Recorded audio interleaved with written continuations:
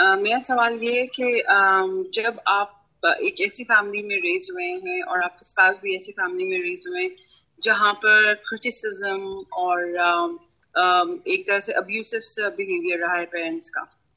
और आप भी as you're growing up you decide कि ऐसा नहीं होगा with with your children and you know you'll be a different person but you find yourself in the same uh, feet in the same shoes and same situations uh, um, I mean even though you're working towards self-awareness पर um, जो आ, आपके in-laws हैं या आपके जो spouse की family है या वो वहाँ पर ये मेंटालिटी पाई जाती है कि जैसे पहले वक्तों में जो कुछ हुआ है उसी उन, उन्होंने इस जिन चीज़ों को जिस तरह फेस किया है आगे भी वही चीज़ चलनी चाहिए और उसी तरह फेस होना चाहिए। काउंसलिंग की कोई ज़रूरत नहीं है यू नो पेरेंटिंग की सेशंस की कोई ज़रूरत नहीं है। Everything is to go that way और because of your own trauma ये वो जो क्रिटिकल बिहेवियर uh, आपके हस्बैंड की तरफ़ से आता है जो कि आपका अपना भी है you recognise that because you know that the counselling part और वो सारी ये ये टॉक्स ये सब आप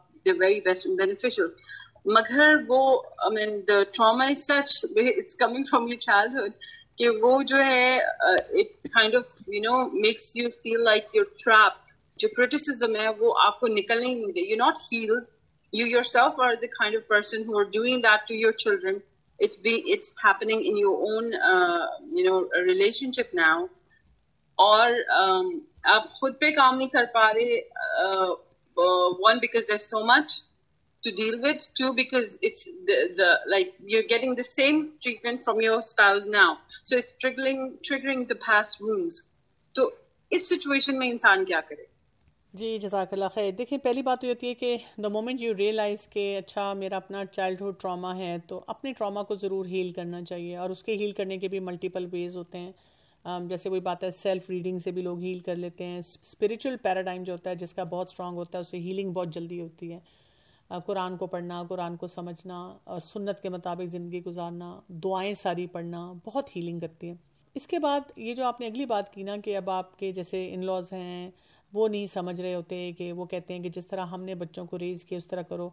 इसमें भी आपको सेल्फ अवेयरनेस कैसे हेल्प करती है? आप देखें, जब आप एक फैमिली का हिस्सा बनते हैं ना तो आपको उनके डायनेमिक्स को अंडरस्टैंड करना होता है। अब फिर आपने ये अंडरस्टैंड करना होता है कि where I am coming from अब मैं जिस तरह रूट से आई हूँ, मैं समझती हूँ कि मुझे पेरेंटिंग क्लासेस में जाना चाहिए, मैं समझती हूँ कि मुझे बच्चों को इस तरह से डील करना चाहिए। तो फिर आप अपने पूरे प्लान को टेबल पर लेआउट नहीं करते। यानी देखिए जो बड़े होते हैं ना, उनको पता है क्या लग रहा होता है? जब हम उनको कहते हैं ना कि हमने पेरेंटिंग कोर्स ज्वाइन किया, हमने पेरेंटिंग क्लास ज्वाइन किया तो उनको ऐसा फील होता है कि maybe we did not do a good job as parents जो हम तुक्के से कर रहे थे। और वो फिर आपको ये जस्टिफाई करने की कोशिश करते हैं कि लो, हमने भी तो पाले हैं, हमने तो कोई इतने पैसे नहीं लगाए और ये ये नहीं किया और ये करने की क्या ज़रूरत है? तो आप उनको अप्रिशिएट एक तो बहुत ज़्यादा करते हैं कि you know you have done very good job और फिर आप उनको ये कहते हैं कि जी, हम तो आपसे भी सीखते हैं और हम इसी तरह से कुछ और जगहों से भी सीखते हैं और हम जितने एक्सपर्ट्स हैं उनसे सीख कर आगे जो है ना अपने बच्चों की तरबियत करते हैं। उस पर जब वो आपको फिर वो जुमला बोलते हैं, हमारे ज़माने में तो ऐसे नहीं होता था तो आप बहुत मुस्कुरा के कहते हैं हाँ आप बिल्कुल ठीक कह रहे हैं, माशाल्लाह आप लोग कितने करेजियस है ना कि आपने अपने ओन पे कर लिया और आप अपनी थोड़ी सी नाहली की बात कर देते हैं कि मुझे लगता है कि मुझे थोड़ी सी ज़रूरत है, मुझे ज़्यादा हेल्प मिल जाती है। और इसीलिए तो मैं आपकी बात भी गौर से सुनती हूँ। ठीक है, अगर आपको उनकी कोई बात ठीक नहीं लगती, आप बहस किए बगैर कि नहीं जी, आप ये कह रहे हैं, लेकिन फ़लाँ पेरेंटिंग एक्सपर्ट तो ये बात कह रहा है। और जब आप उनको इस तरह से थोड़ा बोलते हैं ना तो वो उनको अच्छा नहीं लगता उनको ठीक नहीं लगता। इसी तरह से जब बहुत से फैमिली मेंबर्स मुझे कहते हैं कि जी, हम मसलन कोई कहीं पे काउंसलिंग लेना चाहते हैं, लेकिन हमारे फैमिली मेंबर्स नहीं मानते तो मैं उनको कहती हूँ कि चेंज योर जो टर्मिनोलॉजी है वोकेबलरी आपकी बहुत अच्छी होनी चाहिए जब आपने किसी से बात करनी है क्योंकि हमारे यहाँ पे जनरल परसेप्शन ये है कि काउंसलिंग मींस के आप बेकार हैं निकम्मे हैं आपको कुछ नहीं आता आप नफसियाती मरीज़ हैं आपका दिमाग ख़राब है और आपको आपके दिमाग को ठीक किया जाएगा।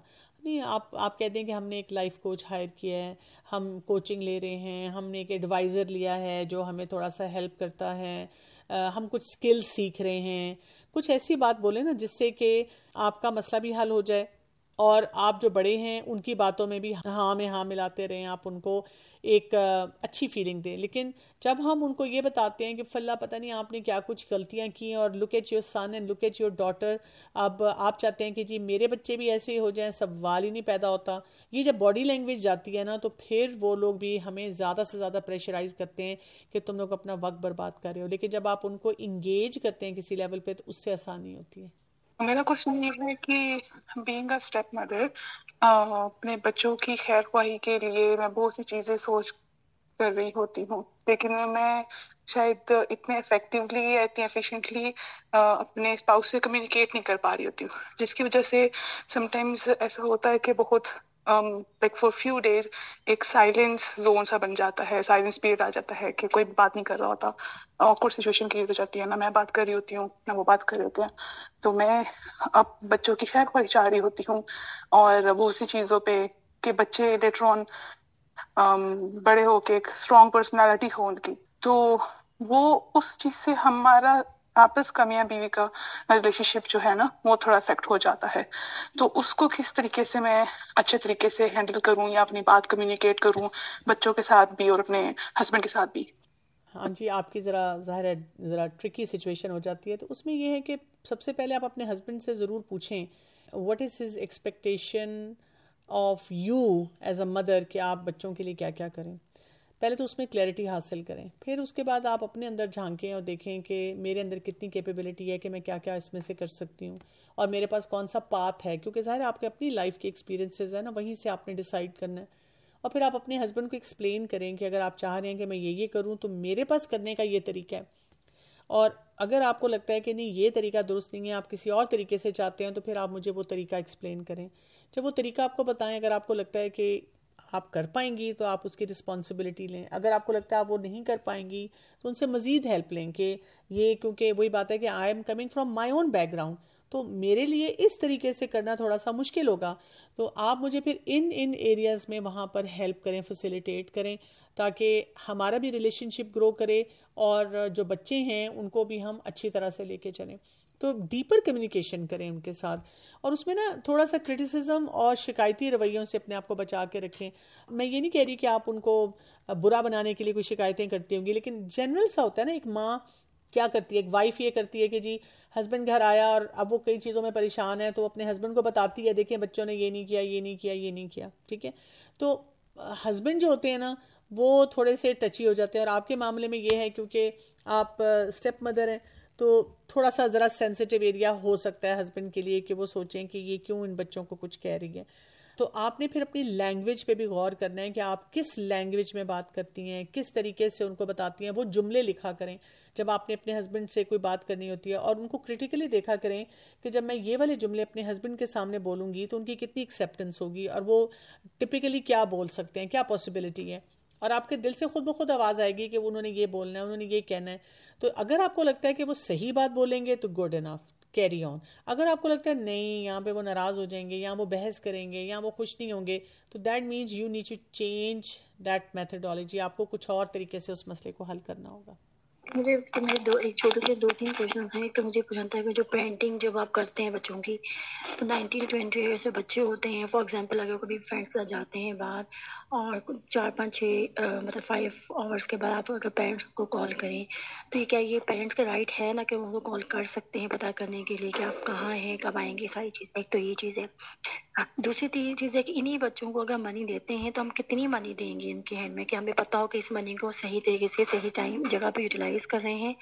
और तीसरा मेरा क्वेश्चन इसी से रिलेटेड है जैसे बच्चे गाड़ी की बहुत आपको डिमांड करे मुझे अपनी गाड़ी लेके दें, ऐसा कुछ है। तो गाड़ी किस उम्र में उसको दें कि वो उसको मतलब के सही यूटिलाइज भी कर? हमें पता हो कि मतलब कि क्योंकि गाड़ी देने का मतलब ये है कि आपको ही नहीं पता होगा बच्चा कहाँ है, हर वक्त तो आप इसको नहीं कर सकते ना। तो ये चीज़ें मुझे ज़रा कंफ्यूजिंग मतलब बहुत लगी तो प्लीज़ इसमें मेरी हेल्प कर दें अगर। अच्छा इसमें ये होता है कि बच्चे के लिए ना आपको जो स्टैंडर्ड सेट करना होता है, एक तो ये कि उसकी उम्र को समझना है कि किस उम्र पे किस चीज़ की गुंजाइश होती है और किसकी नहीं होती। ये जो जवानी वाली उम्र होती है ना टीन वाली, इसमें जज्बातीपन ज़्यादा होता है और सेंस ऑफ़ रिस्पॉन्सिबिलिटी कम होती है।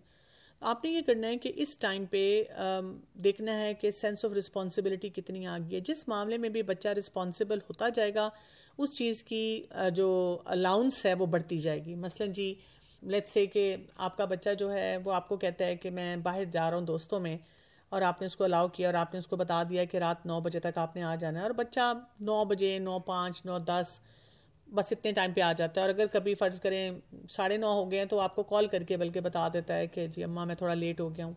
तो दैट मीन्स कि वो रिस्पॉन्सिबल बच्चा है। तो आप उसको बहुत फ्रीक्वेंट तो नहीं, लेकिन यानी दे सकती हैं कि अप्रोप्रिएट तरीके से उसको परमिशन ये दे सकती हैं। लेकिन अगर वो कहता नौ बजे आता, ग्यारह बजे, आपका फ़ोन नहीं उठाता, बात नहीं करता तो फिर आपको थोड़ा सा उसके साथ टर्म्स एंड कंडीशन सही तरह से सेट करने की ज़रूरत है। यही बात फ़ोन के इस्तेमाल में है या फ़ोन लेने पे भी है कि अगर वो कितना रिस्पॉन्सिबल होता है, आपने पैसों में भी यही है।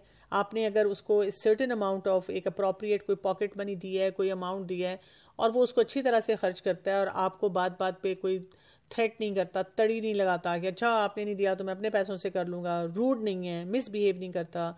अच्छा बच्चा है तो फिर आप उसको एक सर्टेन अमाउंट जो अप्रोप्रिएट अमाउंट हो उस एज के लिए आप दे सकती हैं। अब अगर मेरे बच्चे भी मुझे आकर अभी अभी कहें कि, अम्मा प्लीज़ कोई टू थाउज़ेंड दे दें, हमने ये दो चीज़ें मंगवाई हैं।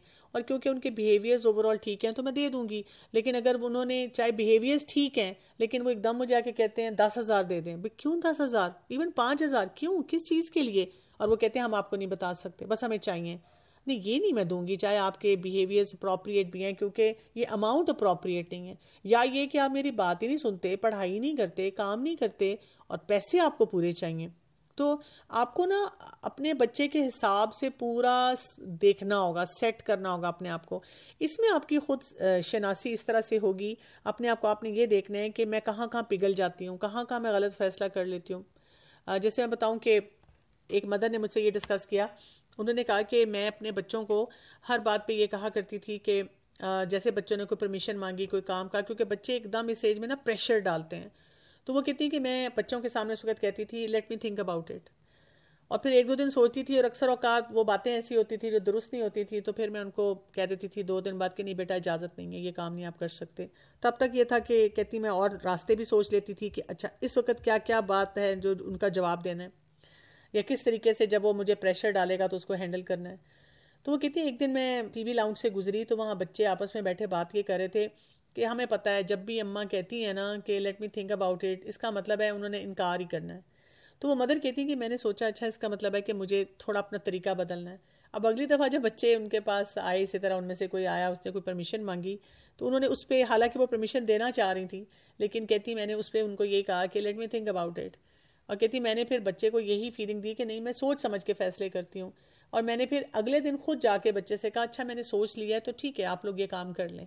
यानी बात यह है कि तरीका सही होना चाहिए, परेशान नहीं होना। बच्चे को जब भी ये लगेगा कि यू आर इन कंट्रोल वो उस पर थोड़ा सा आगे पीछे होगा गुस्से में आएगा, लेकिन फिर वो कुछ मामला को ठीक करना शुरू कर देगा। लेकिन अगर उसे लगा कि आप घबरा गई हैं एज अ पेरेंट मदर तो बस उसने तो फिर आपका फुल एडवांटेज लेना है हर मामले में। गाड़ी आपके यहाँ बेटा, जब आप इंशाल्लाह कमाना शुरू करेंगे तो आपको गाड़ी मिल जाएगी। अल्लाह ताला आपको देंगे ना, आप अल्लाह से दुआ मांगो। मेरे बच्चे जब छोटे थे और मुझे जब कहें कि आपके पास नया मोबाइल फ़ोन है और हमारे पास पुराना थका हुआ है तो मैं कहती बेटा, मैं काम भी तो बहुत सारे करती हूँ तो अल्लाह मुझे देता है तो आप भी अल्लाह के रास्ते में ढेर सारे काम करो इन अल्लाह भी आपको देगा। मैं तो बहुत चाहती हूँ कि आपको बिल्कुल लेटेस्ट जो है, नया मोबाइल फ़ोन मिले। बस काम वो करो ना जिससे अल्लाह दे, ये तो रिस्क की शक्ल है, अल्लाह देता है। अल्लाह ने आपको देना है। यानी मैं क्यों उस वक्त उनको बातें सुनानी शुरू कर दूँ कि हाँ फ़ोन चाहिए किस लिए? निकम्मापन और वक्त ज़ाया करना, शुक्र करो तुम्हारे पास नहीं है। या ये कि मैं इतनी ज़्यादा वो दुखी हो जाऊँ कि मैं फटाफट अपना फ़ोन जो है उनको पकड़ा दूँ। तो ये सारे वो एरियाज़ हैं जिन पे ज़ाहिर है फिर हमें थोड़ा सा अपने आप को ना मैनेज करना होता है, देखना होता है। आ, किसी का सवाल है कि अगर एक स्पाउस दीन से दूर हो बस बराए नाम ही मुसलमान हो और बच्चों को भी मिसगाइड करे और दूसरा स्पाउस दीन को फॉलो करना चाहता हो तो क्या तो ऐसे केस में वो क्या करें? जबकि जो फॉलो नहीं करते उनको किसी इस बात का एहसास भी नहीं होता। जी बिल्कुल। जो फॉलो नहीं करते उनको बिल्कुल एहसास नहीं होता और ऐसे मौके पे हमें हर बात पे दीन की मिसालें नहीं देनी होती। हमने अल्लाह के आगे झुकना होता है बहुत ज़्यादा और अपने बिहेवियर अपने अखलाक से सबका दिल जीतना होता है और अपने बच्चों को सही बातें सही तरीके से बताते जाना होता है। रुकना नहीं होता, लेकिन हिकमत बहुत ज़्यादा होनी चाहिए। यानी हस्बैंड के साथ रिलेशनशिप भी बहुत स्ट्रांग करना चाहिए। अब मैं बहुत सी खातन को जानती हूँ, जब वो आती हैं कई दफ़ा हस्बैंड के साथ किसी मामले में मुझे मिलने तो वो पॉइंट ब्लैंक खड़क कहती हैं प्लीज़ मेरे हस्बैंड को समझाएँ कि नमाजें नहीं पढ़ते। और वो हस्बैंड जो होते हैं, कई दफ़ा सामने एम्बेरस हो रहे होते हैं। तो इस तरह थोड़ी हमने किसी को शर्मिंदा करना होता है कि कोई नमाज़ पढ़े या कोई अच्छा काम करे। यही शर्मिंदगी हम अपने बच्चों को देते हैं और यही शर्मिंदगी जो है हम अपने स्पाउजेस को देते हैं। तो ऐसे नहीं करें। आप बेस्ट बिहेवियर के साथ रहें और उनके लिए बहुत ज़्यादा दुआ करें। इसी तरह एक मदर ने एक बहुत साल पहले मुझसे शेयर किया। उन्होंने कहा, मेरे हस्बैंड नमाज़ नहीं पढ़ते थे। लेकिन कहती, मुझे वो कुछ नहीं कहते थे तो मैं ना हर जगह एक किस्म की इमरजेंसी से डालती थी, कहीं जाना है अच्छा मैं जल्दी से नमाज़ पढ़ के आती हूँ, फिर चलेंगे। और वैसे मैं उनके लिए खूब तैयार होती, खूब उनका ख्याल रखती। तो वो कहती हैं कि कुछ महीनों बाद ही मैंने नोट किया कि उन्होंने नमाज़ पढ़नी शुरू कर दी। और वही बातें कहती, मैं दुआएँ बहुत मांगती थी, अल्लाह ताला से कि अल्लाह ताला इनके दिल को खोल दे कि ये नमाज़ पढ़ना शुरू कर दें। इसी का सवाल है कि मेरा बहुत बड़ा मसला है कि मुझे मौत से बहुत ज़्यादा डर लगता है। कि मैं इस कदर खौफजदा होती हूँ कि मेरे हस्बैंड और बच्चे बहुत इससे डिस्टर्ब होते हैं तो ऐसी सूरत में मैं क्या करूँ?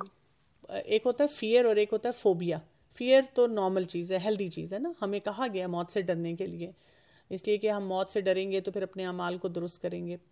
लेकिन फियर जो होगा ना, आपकी फंक्शनैलिटी बढ़ाएगा. यानी जब आपको मौत से डर लगे और आप अपनी नमाज़ों की क्वालिटी को ठीक करें, सदका खैरात करें, अपने आपको गुनाहों से बचाएँ अपने आप को अल्लाह के करीब लेकर आएँ तो इन ये जो है आपके लिए दुनिया और आखिरत की भलाइयाँ लेकर आएगा। लेकिन एक होती है टर्म फोबिया। फोबिया ये होती है कि आपको इतना डर लगता है, इतना डर लगता है कि आपको वो मफलूज कर देता है, आपको पैरालाइज कर देता है, जो करने वाले काम है वो आप कर नहीं पाते हैं। तो फोबियाज नहीं होने चाहिए। और जिन लोगों की ज़िंदगी में फोबियाज आ जाते हैं, इसका मतलब है कि उनकी लाइफ में, उनकी ज़िंदगी में ना बैलेंस नहीं होता, खाने में बैलेंस नहीं, सोने में नहीं। इसी तरह बाकी फर्दर एक्टिविटीज़ में नहीं होता।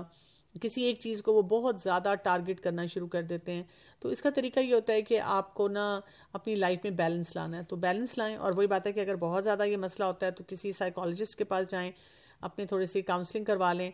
और अगर आपको काउंसलिंग करवानी पड़े तो उसमें मैं ये ज़रूर कहूँगी कि किसी ऐसे एक्सपर्ट के पास जाएँ जिसको दीन की समझ हो। जिनको दीन की समझ नहीं होती ना, वो दीन को ही बदनाम करना शुरू कर देते हैं। वो ऐसी बातें कहते हैं कि हाँ ये तो एक्सट्रीमिस्ट हैं एक्सट्रीमिस्ट लोगों ने आपको बताया है। देखिए ना, कुरान में सुरल बकरा में अल्लाह सुबहान ताला क्या फरमाते हैं? वल्लाजीन आमन अशद हब्बल्ला कि जो लोग अल्लाह से मोहब्बत करते हैं, वो अल्लाह की मोहब्बत में शदीद होते हैं। ईमान वाले अल्लाह की मोहब्बत में शदीद होते हैं। तो जब अल्लाह ताला की मोहब्बत में शदीद होना है तो उसका मतलब ये है ना कि आपकी बहुत सी प्रैक्टिस बहुत स्ट्रांग होंगी। नमाजें आप वक्त पे पढ़ रहे होंगे, सही तरह से पढ़ रहे होंगे, कुरान से ताल्लुक मज़बूत होगा और अपनी प्रैक्टिस को स्ट्रांग करेंगे रिचुअल्स को भी करेंगे। आपस में जो बहुत से जैसे और मामला हैं, उनको भी बहुत ज़्यादा बेहतर तौर पर करेंगे। तो दैट्स हाउ इट इज़ कि वो आपने उस बात को थोड़ा सा समझना होता है। मैंने अपनी सिस्टर की रिगार्डिंग क्वेश्चन करना था। कि मैं घर में हाँ, सिबलिंग्स में सबसे बड़ी हूँ और मेरी जो सबसे छोटी सिस्टर है शी इज़ इन स्कूल तो मुझे उसकी बहुत फ़िक्र रहती है कि आजकल जो स्कूल्स का माहौल है को एजुकेशन है और एक वो हाई फाई स्टैंडर्ड्स सेट किए हुए हैं। तो वो मेरी कोशिश बहुत होती है मैं चेक एंड बैलेंस रखूँ लेकिन उसके पास फ़ोन है तो वो उसको लॉक लगा लेगी और इस तरह से। और अगर मैं उसे लेती भी हूँ कि भाई नहीं आपने इतना स्क्रीन टाइम नहीं फ़ोन यूज़ नहीं करना तो वो मुझे कहती है कि आप क्यों बोल रही हो? ये तो माम बाबा मुझे बोलेंगे। तो उस सिचुएशन में मैं फिर बहुत ज़्यादा कंफ्यूज हो जाती हूँ कि क्या मैं छोड़ दूँ? या मतलब वो जो भी करती रहे अनसुपरवाइज्ड सब एक्टिविटीज़ जो कि मुझे नहीं लगता कि इस तरह से छोड़ा जा सकता है। और फिर पेरेंट्स को बोलूँ तो वो, क्योंकि टेक्नोलॉजी जितनी फास्ट हो चुकी है तो वो एक डिफरेंट एरा से हैं। तो वो उन चीज़ों के इतना उसको नहीं जानते। तो वो मेरे लिए वो चीज़ें कम्युनिकेट करना बहुत मुश्किल हो रहा है। और उसकी वजह से मेरा, मेरी बहन के साथ बहुत ज़्यादा डिस्टेंस क्रिएट हो रहा है। वो फिर बाकी बहनों से जाके बोलती है कि इसे बोलो, देखो मेरा फ़ोन दे दे, मेरा फ़ोन इसने क्यों लिया, ये क्यों ले रही है मेरे से? तो मेरे लिए सिचुएशन बहुत टफ और हो रही है। देखिए, आपने अगर किसी भी यंग बच्चे या बच्ची को कुछ सिखाना होता है ना, आपका जैसा भी ताल्लुक हो उनके साथ आपको पहले रिलेशनशिप बिल्डिंग करनी होती है। रिलेशनशिप बिल्डिंग करके फिर उनको कोई बात सिखानी होती है। दूसरा एक ये ज़ाहिर है आपके वालदेन को भी आपको इक्विप करना होगा और उसको कहीं पे कुरान क्लास या किसी ऐसी जगह पे भी इंगेज करना होगा किसी ना किसी लेवल पे कि उस बच्ची को समझ आए। खाली रोक टोक करने से बच्चे जो होते हैं ना इस एज में जब कि इतना ग्लैमर है इन बातों में, वो फिर दूर होना शुरू हो जाते हैं आपसे और जो सही चीज़ या सही अप्रोच आप दे रहे होते हैं, वो उससे भी दूर हो जाते हैं। तो पहले रिलेशनशिप बिल्डिंग पे जाएँ और फिर साथ साथ उसको सिखाने की और समझाने की कोशिश करें। इस सिलसिले में मैं एक बुक है five love languages for children है। वो मैं करवा रही हूँ लव योर चाइल्ड के नाम से। या तो वो किताब आप ऑनलाइन देख के तो उससे देख के उसके साथ रिलेशनशिप बिल्ड करें या यूट्यूब पे आपको ये वाले सेशन मिल जाएँगे, वो सुनना शुरू करें कि कैसे रिलेशनशिप बच्चों के साथ बिल्ड किया जाता है और उस तरह उसको हैंडल करें तो इनशाला बेहतरी होगी। इन्होंने कहा है कि शोहर को नमाज़ पढ़ने के लिए कैसे इंगेज करें। इस पर मैंने भी बात की थी। शोहर कोई बच्चा नहीं है वो अपनी अम्मा का बच्चा है। ज़्यादा ज़िम्मेदारी तो उनके पेरेंट्स पे आती है ना। हाँ अब आपके शादी हो गई है और अब आप देख रहे हैं कि स्पाउस जो है वो नमाज़ नहीं पढ़ता है। तो दुआ करें उनके साथ अखलाक के साथ पेश आए रिलेशनशिप अच्छा करें। उनके साथ मिल के कुरान पढ़ें और कुरान के ज़रिए उनको अल्लाह की मार्फत हासिल करने दें जहाँ से फिर उनको समझ आए। क्योंकि अगर डायरेक्ट आप उनको बताना शुरू कर देंगी, जैसे कि हम बच्चों को बताते हैं तो उससे आपका रिलेशनशिप ख़राब होगा और शायद वो ये काम फिर भी ना करें। तो बहुत आपको हिकमत के साथ चलना होगा और उनको सिखाना होगा। आपने चाइल्डहुड ट्रॉमा को डील करने के लिए क्या बताया था? सॉरी मुझे वो क्लियर नहीं था। और दूसरा ये कि चाइल्ड ट्रॉमा के चाइल्ड ट्रॉमा के साथ आते हैं सेल्फ सबटाज बिहेवियर एंड वो जो है, वो आपकी जो भी प्रोग्रेस है, आप उसको किसी भी फ़ेज़ ऑफ़ योर लाइफ किसी भी एस्पेक्ट ऑफ़ योर लाइफ में वो आप खुद ही अपने आप को सेल्फ सबटाज कर रहे होते हैं। सो whatever progress you make is not uh, you know taking you any further. You bring yourself back to where you were. तो उसको कैसे डील किया जाए? जी मैंने ये कहा था कि जो चाइल्डहुड ट्रॉमा होता है बेसिकली तो उसके लिए किसी एक्सपर्ट के पास जाना चाहिए। जो सेल्फ डिफीटिंग थॉट्स या सेल्फ सेबोटाज का जो तरीका है वो भी इसी वजह से आता है कि वहाँ पे हीलिंग नहीं हुई होती। तो आपको किसी एक्सपर्ट के पास जाना चाहिए। और अगर आप किसी एक्सपर्ट के पास नहीं जा सकते तो फिर आप ऑनलाइन पढ़ें, कुछ बुक्स हैं। आपको ऑनलाइन कुछ कोर्सेज भी मिल जाते हैं फ्री कोर्सेज मिल जाते हैं, या बहुत लो पेड कोर्सेज जैसे यूडेमी पे कुछ एरिया पे मिल जाते हैं। आप वो ज्वाइन करें और वहाँ से अंडरस्टैंड करें कि ये होता कैसे है और इसमें करना क्या चाहिए। आपको इवन स्कॉलर्स की भी तो आप टॉक्स बहुत सी मिल जाती हैं, जिसमें वो बताते हैं कि अगर ऐसा कोई ट्रामा हो तो आपने कैसे हीलिंग की तरफ़ जाना है। तो बस उन्हीं को सुने और किसी एक्सपर्ट को अप्रोच करें और फिर इसको ठीक करें। दूसरा सवाल है कि अगर टीनेज के बच्चे बदतमीजी करें तो रिग्रेट्स फील होते हैं कि इनके लिए पूरी लाइफ ख़त्म कर दी, लेकिन कोई आउटपुट नहीं है। तो ऐसे में औरत खुद को कैसे स्ट्रॉन्ग करे और कैसे उनसे डील करे? अच्छा देखें जब बच्चे टीनेज में आते हैं ना तो ये बिहेवियर्स बड़े नॉर्मल हैं कि बच्चे गुस्सा करेंगे मिसबिहेव करेंगे। पहली बात तो ये कि हमें ना समझ आ जानी चाहिए ना कि ये बच्चा जो है, ये इस उम्र में आ चुका हुआ है, अब इससे डील करने का तरीका हमें बदलना पड़ेगा। हम उसी तरह, जैसे दो साल का बच्चा है, जिसको खड़े खड़े जो मर्ज़ी सुना दी, हम उसी तरह से बिहेवियर रख रहे होते हैं। दूसरा उनको कैसे रिस्पॉन्सिबिलिटी दी जाए, उसका तरीका भी दुरुस्त होना चाहिए। बेसिकली हमारी कम्युनिकेशन स्किल्स बच्चों के साथ दुरुस्त नहीं होते, जिसकी वजह से वो हमें जवाब दे रहे होते हैं आगे से। और थोड़े बहुत जो जवाब देते हैं, वो बिल्कुल नॉर्मल होते हैं। उनको नॉर्मल लेना चाहिए, उनको दिल से नहीं लगाना चाहिए। अपने आपको बताना चाहिए this is because of the hormonal changes जो उनकी बॉडी में हैं, या जितने स्ट्रेसर्स से वो गुजर रहे हैं। आप सोचें, हमसे ज़्यादा स्ट्रेसर्स से वो गुजर रहे होते हैं, इसलिए कि अब देखें ना, हम तो एज अ पेरेंट देख रहे हैं, अब हमारे दोस्तों में इस तरह के अफराद नहीं होते, हमने अपने आप को बहुत सी चीज़ों में स्टेबलाइज किया होता है, लेकिन उनके दोस्त सारे गलत काम कर रहे हैं। और उनमें रहते हुए अब उनके ऊपर ये प्रेशर होता है पेरेंट्स की तरफ़ से और उनकी अपनी भी ज़ात में से भी होता है कि मैंने गलत काम नहीं करना। तो काफ़ी मुश्किल सिचुएशन से वो गुजर कर अपने आप को लेकर चल रहे होते हैं। क्वेश्चन है how to deal with bad temper of a person and अगर उनसे डिस्कस किया जाए तो मसला और बढ़ जाता है तो क्या किया जाए? हमने इस पर एक सेशन पूरा किया था एंग्री स्पाउजेस का ना? तो आप पहले तो एंगर को अंडरस्टैंड करें, फिर ट्रिगर्स को देखें। अगर आपको लगता है कि दूसरा इंसान नहीं समझता तो अपनी बाउंड्री सेटिंग जो है, उसका तरीका सीख लें कि मैंने कैसे, कितनी हद तक बस इनसे कितना कम्युनिकेट करना है, बस। एक और सवाल है कि उनकी फैमिली में अहम बातें खानदान में बताई नहीं जाती। जो खानदान का जो बड़ा है, वो अपने फैसले अकेला करे और दूसरों से मशवरा लेना दूर की बात, वो तो पूछते भी नहीं है, बल्कि फैसला नाफिज कर दिया जाता है। उस वक्त खानदान के दूसरे करीब के लोग क्या करें? बातचीत की जाए, उसकी कोशिश के सारे रास्ते अगर इख्तियार किए जाए तो उनका मूड खराब होता है, दूसरी तरफ़ उनकी माँ नाराज़ हो जाती हैं और बहुत से मसाइल बढ़ जाते हैं तो क्या किया जाए? अब देखिए, ऐसी सिचुएशन में आपने जो ये सवाल पूछा है ना, ये बड़ा जेनेरिक्स है। क्योंकि कुछ फैसले ऐसे होंगे जो ठीक है, उन्होंने अपनी तरफ़ से किए, लेकिन वो कोई गलत नहीं होंगे, वो हराम डोमेन में नहीं जा रहे होंगे तो मान लेना चाहिए, कोई बात नहीं। और ये रिश्तों पे भी डिपेंड करेगा, अगर वालिद हैं, वालदा हैं, या कोई और बुज़ुर्ग है, उनको आदत है जो कुछ फैसले उनके ऐसे हो सकते हैं जो दुरुस्त नहीं हो सकते। उस पर फिर ये कि किसी को इंगेज किया जाए, वहाँ पर थोड़ा सा स्टैंड लेना सीखा जाए। अगर स्टैंड नहीं ले सकते तो फिर मानना पड़ा तो फिर मान के अपने आप को हेल्दी रखने के तरीके देखे जाएँ। तो इट विल डिपेंड के किस तरह का डिसीज़न है, क्या डिसीज़न है? आपको बताऊँ, जब लोग मुझे जेनेरिक सी बात पूछते हैं ना, मेरे इर्द गिर्द भी कई करीबी लोग हैं, वो मुझे कहते हैं, अगर किसी ने ये किया और अगर उसने ऐसे किया और मैं उनको अच्छी तरह जानती हूँ तो मैं कहती हूँ, प्लीज़, ये गिबत नहीं होगी, आप मुझे एग्जैक्ट नाम बताएँ, किसने किया है, क्या किया है? तो मैं आपको ना फिर एग्जैक्ट सोल्यूशन दूँगी। तो फिर वो मुझे कहती हैं अच्छा वो जो मेरी अम्मा है, या वो मेरी देवरानी है, या आप मेरी जेठानी को जानती हैं ना, या मेरे देवर को, या मेरी बहन को जानती हैं ना, या मेरे भाई का आपको पता है ना तो मैं फिर उनके मूड और मिजाज के मुताबिक बताती हूँ कि हाँ नहीं नहीं, वो तो बहुत अच्छे हैं, मेरा नहीं ख्याल, कोई गलत फहमी होगी, आप इस तरह से उनसे बात करके क्लियर करें। या नहीं नहीं नहीं, वो बहुत गुस्से वाले हैं, आप वाकई इनको कुछ नहीं कह सकती, आपको बहुत ज़्यादा ख्याल रखना होगा। तो डिपेंड करता है कि हर एक ने क्या किया और किस तरीके से फिर उसको डील किया जाए। तो ये पूरा आपको ना एग्जैक्ट मैटर जो होता है ना, उसके मुताबिक देखना चाहिए कि हम इस मसले को कैसे हल करेंगे। किसी का सवाल है कि I have 14 years old daughter she is really rude and grumpy all the time and she is not happy all the time she complain I try my best to be nice to her and ignore if she being rude or lazy doing nothing housework but she's still same she was not same before I don't know at this age or what happened to her so if you advise me please how to deal with her देखिए, आपको पूरा teenagers के behaviours को understand करना होगा, फिर इसके साथ साथ आपको देखना होगा कि आपका रिलेशनशिप उसके साथ कैसा है, फिर उसके जो रूटीन्स हैं, उसका खाना पीना पूरे चीज़ों को मैनेज करके देखना होगा।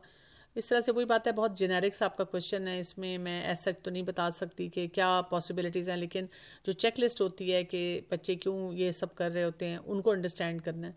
तो जो जायज़ उनकी ख्वाहिशात होती हैं, उनको पूरा किया जाए, अपने रिलेशनशिप को ठीक किया जाए, और जो नाजायज़ बातें हैं, वहाँ पर नो हो और नो का तरीका भी दुरुस्त हो तो फिर बच्चे आहिस्ता आहिस्ता समझ जाते हैं, थोड़ा सा फ़ेज़ आता है उन पर जिसमें वो परेशान होते हैं।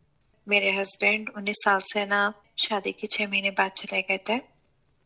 मेरे दो बच्चे हैं और मैं जॉइंट फैमिली सिस्टम में रहती हूँ और मेरे हस्बैंड मुझसे बहुत ज़्यादा कनेक्ट नहीं है। आहिस्ता आहिस्ता दूरियाँ बढ़ती गई हैं। फैमिली कुछ प्रॉब्लम्स करती थी और उनको था बड़ा बेटा है और कहीं भी बच्चों में इन्वॉल्व हो गया उन्हें ना भूल जाए। लेकिन बहरहाल अभी सिचुएशन इतनी ज़्यादा वॉरेस्ट हो गई है। बेटी मेरी सोलह साल की है, बेटा मेरा सत्रह साल का है। उन्होंने वहाँ पे रहते हुए मतलब कि हमसे इतना कनेक्शन नहीं है उनका। मैं बात करना चाहूँ तो वो नजरअंदाज कर देते हैं कॉल पिक नहीं करते। मतलब ये अट्ठारह उन्नीस साल से कंटिन्यू चल रहा है। लेकिन अभी जो बड़ा मसला ये है कि उन्होंने मेरे निकाह के बाद, मेरे बच्चों के बाद दो निकाह और किए। अल्लाह को मानते हैं, अल्लाह के नहीं मानते हैं टोटली दीन से अलग है।